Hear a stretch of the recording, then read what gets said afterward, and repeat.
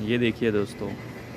ये जो ट्रेन आपको दिख रही है इंडियन ट्रेन आइसक्रीम या जो बर्फ़ में रखने वाली चीज़ें रहती हैं, वो लेके रखती है और एक जगह से दूसरी जगह डिलीवर करती है, जैसे कि चीज़ दूध मिल्क